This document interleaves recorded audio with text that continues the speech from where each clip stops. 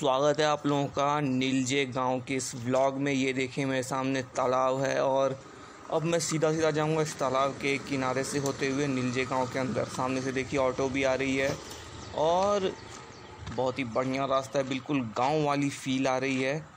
मन हो रहा है कि और अंदर जाता रहूँ जाता रहूँ, लेकिन अगर मैं ऐसे ही और अंदर जाता रहा तो काफ़ी लंबी चौड़ी वीडियो बन जाएगी। मैं एक छोटा सा एक व्लॉग बना रहा हूँ, जिसमें कि आप लोगों के साथ अपना एक्सपीरियंस साझा कर सकूँ कि कैसे मैं नीलजे गाँव के अंदर होते होते ही जा रहा हूँ। ये देखिए, नदी का एक और व्यू दिखा दिया सॉरी नदी नहीं, तालाब का एक और व्यू दिखा दिया आपको। चलिए देखते हैं अब आगे और क्या क्या मिलने वाला है। यहाँ का तो मज़ा ही कुछ और है दोस्तों। यहाँ पे चीज़ें काफ़ी अच्छे से बनाया है, पक्की सड़कें हैं यहाँ पर। अभी कुछ सालों तक पक्की सड़कें भी नहीं थी। अभी कुछ ही साल पहले यहाँ पर बनी है और क्या सही व्यू है। कुछ कार्स भी पार्कड है यहाँ पर।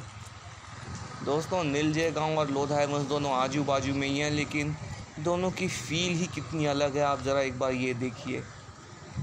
एक जगह आने पर ऐसा लगता है कि हम लोग गाँव के अंदर आ गए हैं और दूसरी जगह आने पे लगता है कि एक पौश इलाका है। लेकिन सच बताओ दोस्तों नीलजे गाँव का जो मज़ा है, वो मज़ा और कहीं हो ही नहीं सकता।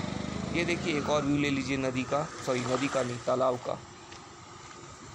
चलते हैं धीरे धीरे थोड़ा और आगे देखते हैं कि आगे क्या मिलने वाला है हमें।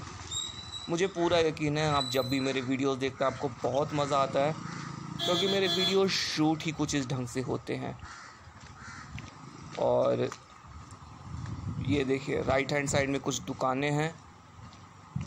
मुझे पता है कि आप लोग को क्या देखना पसंद है और इसीलिए मैं वही सारे वीडियोस लेकर आता हूँ, जो कि मुझे पता है कि आप लोगों को देखने में बहुत मज़ा आएगा।